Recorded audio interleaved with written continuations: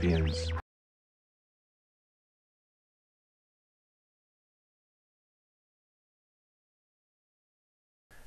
This bait right here is brand new out of Japan. It's called the Sasuteki Craw. And its original design was made for punching because it has a real thick, durable plastic, you know, solid body that you can rig like up to a 5 odd EWG hook on and, you know, punch it in the heaviest grass mats.